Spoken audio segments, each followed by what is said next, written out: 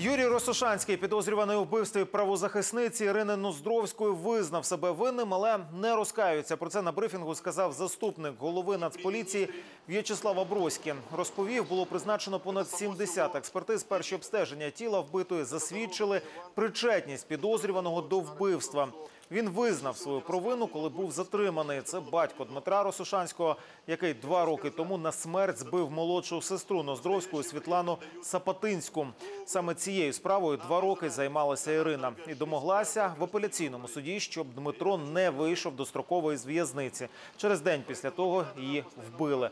Вчора суд арештував Юрія Росошанського на 60 діб без права внесення застави. Он свою вину признает полностью. Он дал согласие на воспроизведение на месте. Он полностью указал место и механизм нанесения телесных повреждений. Я думаю, он осозна- не до конца осознавал, что он все-таки сделал. И уже в беседе с ним я понял, что он никогда не раскается. Результаты проведения экспертизы ДНК на потерпевшей были обнаружены на част- частицы, которые принадлежат подозреваемому.